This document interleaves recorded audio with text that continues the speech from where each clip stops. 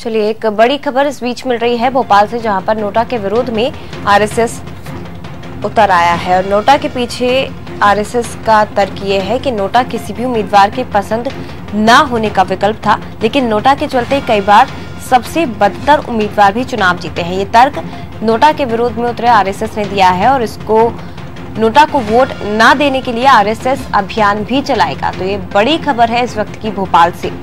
दूसरे बेहतर उम्मीदवारों को वोट देने के लिए जागरूकता अभियान आरएसएस चलाएगा। इसके लिए समाज को जागरूक करने की बात भी आरएसएस द्वारा कही जा रही है। तो भोपाल से इस वक्त की बड़ी खबर जहाँ नोटा के विरोध में आरएसएस अब मैदान में उतर आया है और आरएसएस का कहना है कि नोटा किसी भी उम्मीदवार के पसंद ना होने का एक विकल्प रहता है, लेकिन इसी के चलते कई बार सबसे बदतर उम्मीदवार जो होते हैं, वो भी चुनाव जीत जाते हैं। तो जिसको लेकर समाज को जागरूक करने के बाद आरएसएस कह रहा है और नोटा को वोट ना देने के लिए एक अभियान भी आरएसएस द्वारा चलाया जाएगा।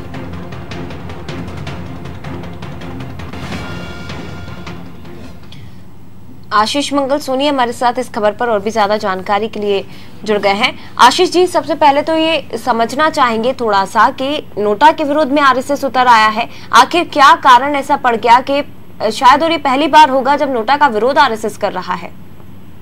देखिए जया, नोटा का विरोध करने की बात नहीं है। लोग मतदाताओं को जागरूक करने के लिए राष्ट्रीय स्वयंसेवक संघ के द्वारा अभियान चलाया जाएगा। संघ के पूर्व पदाधिकारी अशोक पांडे का साफ़ तौर पर कहना है कि नोटा का उपयोग करने से केवल जो मतदाता है, वो अपने पसंद का उम्मीदवार उसे नहीं मिलता है तो फिर वो नोटा का इस्तेमाल करता है। लेकिन नोटा का इस्तेमाल करने से मतदान का अधिकार सुनिश्चित नहीं हो पाता है। और यही वजह है कि कभी कई बार ऐसे प्रत्याशी जो मतदाताओं की पसंद में बेहतर नहीं होते हैं तो फिर कम बेहतर वाले प्रत्याशियों का चयन करना चाहिए, जिससे मतदान के अधिकार को सुनिश्चित कराया जा सके। और साफ़ तौर पर संघ के पदाधिकारी पूर्व पदाधिकारी अशोक पांडे का साफ़ तौर पर कहना है कि राष्ट्रीय स्वयंसेवक संघ मतदाताओं को जागरूक करने के लिए अभियान चला रहा है क्योंकि समाज में जागरूकता ज़रूरी है।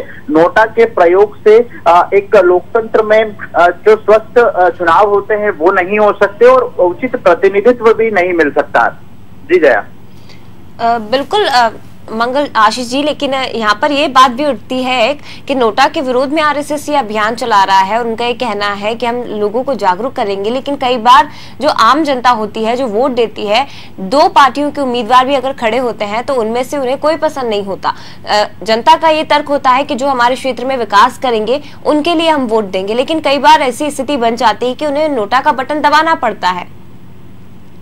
निश्चित रूप से ये, यही होता है, जब मतदाता को अपनी पसंद का उम्मीदवार नहीं मिलता है तो वो नोटा का उपयोग करता है और नोटा का उपयोग करके ये साबित कर देता है कि चुनावी रण में मौजूदा प्रत्याशियों में से उसके क्षेत्र के हिसाब से कोई भी बेहतर प्रत्याशी नहीं है। इसीलिए राष्ट्रीय स्वयंसेवक संघ का कहना है कि आ, आ, दोनों ही प्रत्याशियों में या जितने भी प्रत्याशी मैदान में खड़े हैं उनमें यदि कोई पसंद का नहीं है तो फिर आ, मतदाता को अपना क्राइटेरिया सुनिश्चित करना होगा कि कौन सा प्रत्याशी उसके लिए कम आ, जो बेहतर हो सकता है तो उसमें कौन इनके अलावा और कौन बेहतर हो सकता है। मान लीजिए कि कोई प्रत्याशी बिल्कुल पसंद नहीं है कोई प्रत्याशी की पसंद का, आ, जो रेशो है वो कम है तो ऐसे में उन मौजूद प्रत्याशियों में से ही चयन करना चाहिए जिससे मतदान का अधिकार सुनिश्चित किया जा सके। और नोटा का विकल्प स्वस्थ जो लोग चुनाव होते हैं, उस चुनाव के दौरान नोटा का उपयोग करने से केवल मतदाता अपने कर्तव्य की इच्छी नहीं कर सकता कि उसे कोई पसंद नहीं है।